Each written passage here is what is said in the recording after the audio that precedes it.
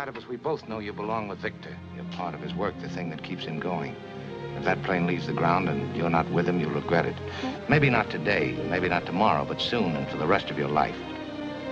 But what about us? We'll always have Paris. We didn't have, we, we lost it until you came to Casablanca. We got it back last night. When I said I would never leave you. And you never will.